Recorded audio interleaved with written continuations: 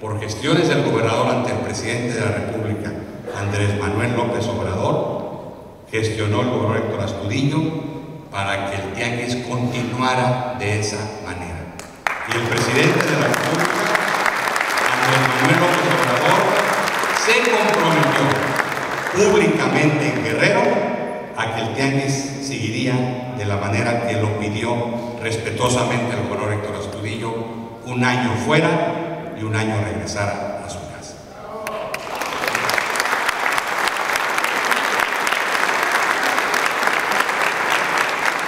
Al término del tianguis turístico, los traigo un poquito más cerca, de Mazatlán, Sinaloa, por cierto, un tianguis turístico extraordinario, el gobernador Héctor Astudillo, al recibir la estafeta por el gobernador Quirino Ordaz, se comprometió públicamente en Mazatlán a ser en 2019 el mejor tianguis de la historia.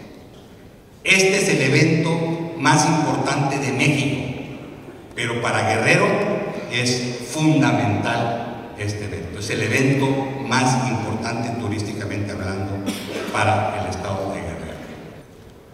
Estamos muy contentos que también por primera vez en la historia, por primera vez en la historia, Guerrero es parte del comité organizador del Tianguis Turístico.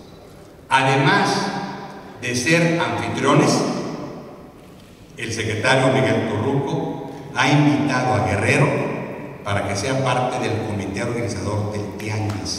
Pero la historia de Guerrero y de Acapulco con Miguel Torruco tiene muchos años. Muchos años.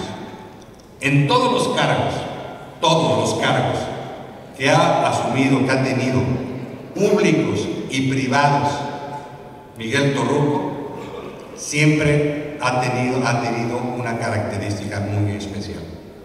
Siempre ha respaldado a Guerrero y siempre ha respaldado a